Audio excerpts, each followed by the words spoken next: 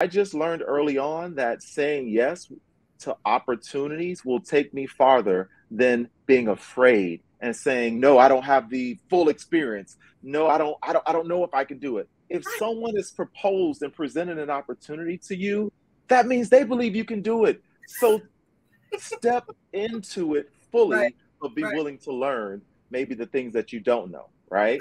Love it. I, I mean just preaching to the choir over here but i hope everybody out there is listening right? Like the expansion is in the experience yes yes say that again I've been, I feel like I've been saying it all week, Coach Rob. The expansion is in the experience.